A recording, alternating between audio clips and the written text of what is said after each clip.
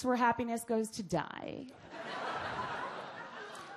The other day, a guy told me his penis could break me in half. I was like, I don't think I want that. Unless, of course, it's a magic trick, then that could be fun.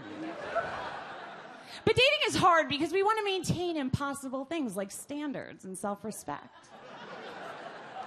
If a guy does something we don't like, we're like, I don't know who you think you are, but you are not going to get away with that shit.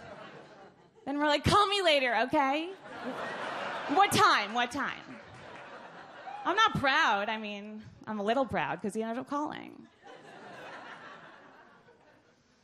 I went out with a brain surgeon once. First of all, that's a real job. I was like, the entire time I was looking at him and I was like, every date, every fight we ever have is going to end with, no, it actually is brain surgery. I was like, I can't have that. It's over. I'll never win. I'm a Jew. I dated an Arab once. I loved it. It was so controversial. It was like in the 80s when people would adopt crack babies. I was like, this is my Arab. I was so proud.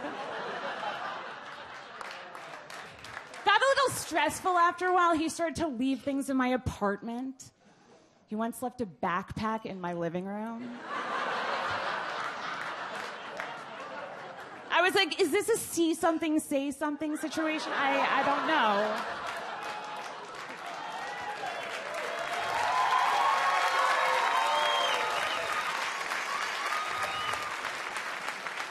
I dated a Puerto Rican once. I love Puerto Ricans. Here's why.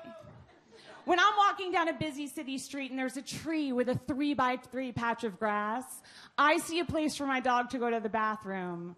They see a banquet hall. They will throw a hibachi grill on that patch of grass, invite 200 of their closest friends, and have the sickest party ever. I have three people come to my house for dinner, six chairs, and I'm like, how the fuck am I gonna pull this off? They don't even need that patch of grass. There could be grass growing from a crack in the sidewalk on 95th and Lexington. And they're like, we can have our party here. Nobody appreciates urban grass more than the Puerto Ricans.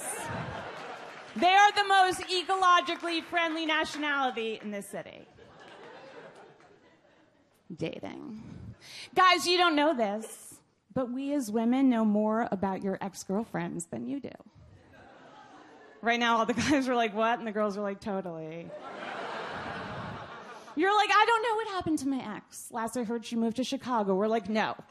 She lives three blocks away. She just bought a Labradoodle. But we don't say it, we just think it.